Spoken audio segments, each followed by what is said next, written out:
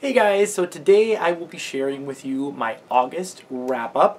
Um, August was a pretty good reading month for me. I did complete four books, which I am really, really excited about, so I'm going to share my thoughts on those today. And then right after that, I'll just kind of mention briefly uh, the books that I plan to read in September and just kind of lump it all together as I've been doing for the last couple months.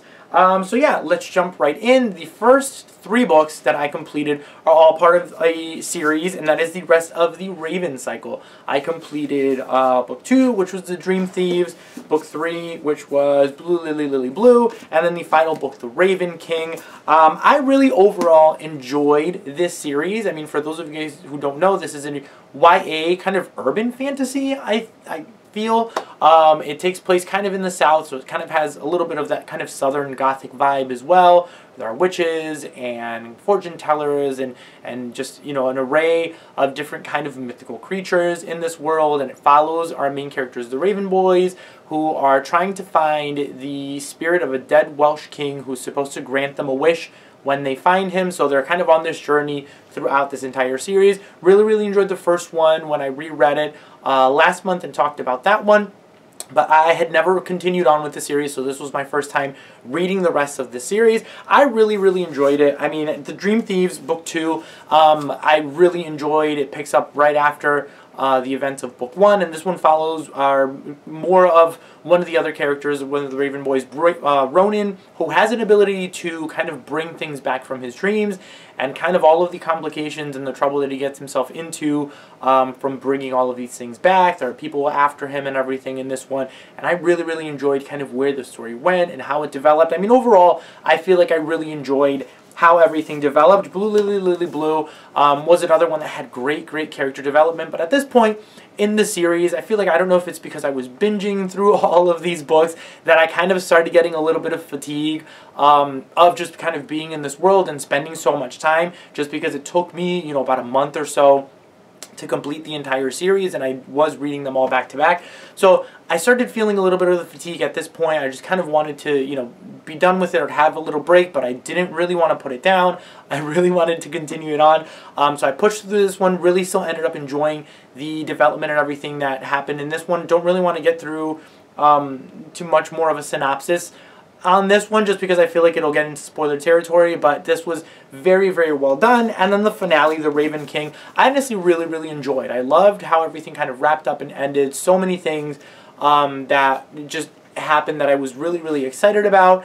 And just kind of that open ending in the end that, you know, Maggie Stiefvater kind of put there to kind of leave room for her new series that she's currently writing that follows Ronan um, from book two. So you know, you have that new trilogy from her that is set in the same world, and you can kind of see how she sets things up at the very end of The Raven King going into this new series. So really excited. I will hopefully, you know, I don't own any of the books in that other tril spin-off trilogy. Um, at some point, I will pick them up, most likely, and read them. But as of right now, I'm taking a little break from The Raven Boys and this world just because I, again, have been in this world too long Still really, really enjoyed it. I gave five stars to The Dream Thieves and about four, four and a half stars to the other two books in the series. Still really enjoyed these. And then I completed People We Keep by Allison Larkin. This was my July pick, I believe. Yes, for Book of the Month.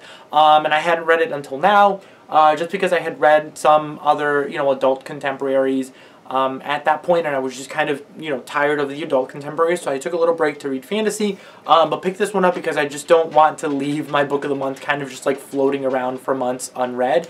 Um, because what's the point in subscribing to Book of the Month if I'm just going to kind of like leave them on my shelf. But this one I really enjoy. This one follows our main character, April, who is a musician. Uh, she lives in a small town in upstate New York and is kind of tired of this life that she's living. She's very um, very poor. She's living in, in, in kind of this abandoned trailer uh, or motorhome with her father, and you know they don't have the greatest relationship. It's kind of a little bit toxic.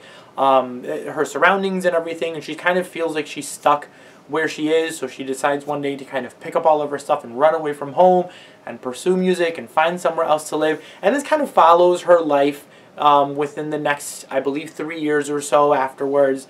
Um, and then kind of everything that happens to her, the kind of connections she makes with new people, um, the uh, kind of her fleeing kind of this past and, and continuing to repeat kind of her, her mistakes of the past as well. This was a really, really enjoyable book. I really loved the first um, kind of 120 pages or so. And then they introduced romance in here that I just was absolutely hating. And this one is an example, or at least this kind of motivated me to not want to DNF books in the future to kind of keep pushing through when I'm not enjoying a book because at around the 120, 130 page mark, I wasn't enjoying it at all. I didn't really like this romance. I felt like it was very um, problematic and just wasn't really liking it at all and I wanted to put it down but I pushed myself through it and you kind of learn later on um, as she continues to progress through the story why she's making these mistakes why she's kind of making these decisions why she's allowing herself to fall into kind of these these insta-love kind of relationships and everything and, and you know why she does the things that she does.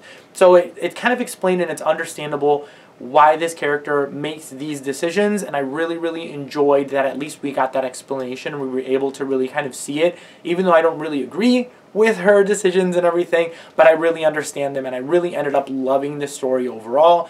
I feel like it was very beautifully told at the end you, you know you just have a very satisfying story, even though it was, you know, very heartbreaking at times and very hard to get through some points. Um, this was overall a very, very enjoyable read. I'm really glad I pushed through. I did end up giving this like a four, four and a half stars. Really, really ended up loving this one in the end. Now moving on to the books that I plan to read in September. I'm currently in the middle of Yoke by Mary H.K. Choi. I'm about 130 pages or so into it. Really, really, really enjoying it. It follows um, two sisters, June and Jane, um, they don't really get along. They kind of live kind of different, completely different lifestyles and everything. They're about three years apart.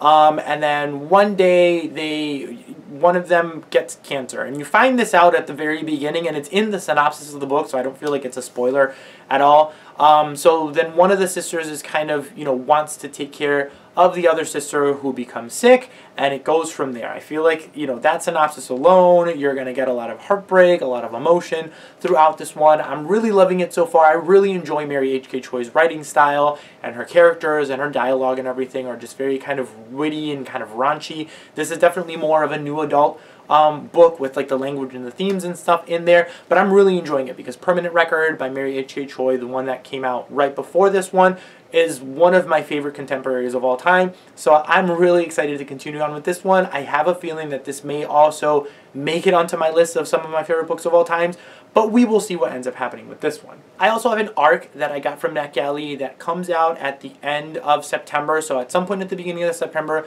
I'm going to try and get through this arc so that I can review it and everything before it's released. And that is You'd Be Home Now by Kathleen Glasgow. I don't really know much about this one other than it being a YA contemporary, which I enjoy reading. Um, and I believe it has to do with, with some kind of substance abuse um, or some kind of like dependency to pills or some kind of sickness, something like that. It's one of those heavy, hard-hitting kind of YA contemporaries that I just, again, enjoy reading. I don't know why I like to torture myself that way. But this is, again, another one. It comes out at the end of September, so I will definitely be reading it um, at some point at the beginning of September. And then the last two books that I have in that I want to read in September are part of the Mid-Year Mystery Madness. If you guys did not watch my announcement video for that, I will link it on the screen so you guys can watch it. But we're doing kind of a little mini readathon this year that it's an extension of March Mystery Madness um, that I really, really love participating in every year. So we're just doing kind of a week-long thing in September from the 12th to the 18th where we just pick up a couple of mysteries and read it from subgenres that we may or may not be familiar with. Um, so the two books there, I'll mention those quickly because I did mention those in that announcement video, are Contagion by Erin Bowman and Hexes and Hemlines by Juliet Blackwell. Um, these two, again, I mentioned briefly in that video if you guys want to check it out, but these are my two books that I'm planning on reading during that week for the Mid-Year Mystery Madness. Um, and then I don't know what else I'm going to read. Those are the four books that I have kind of on my immediate TBR. If I can get to more, I will most likely get to one more book um, after that at some point, but we will see what ends up happening or what I'm in the mood to read. I don't really want to put too many things on my TBR um, because I have been kind of straying away of the contemporaries now because I read so many of them in the summertime, so I kind of, you know, been diving back into like fantasy and science fiction and that kind of thing. So we will see what happens with the rest of my TBR. But yeah, guys, that is it for all of the books that I read in August and the ones that I plan to read in September. Comment down below. Let me know what you guys have been reading, what you guys are planning to read in September. I would absolutely love to know. Before you go, don't forget to like and subscribe. Thank you guys all again for watching, and I will see you all next time.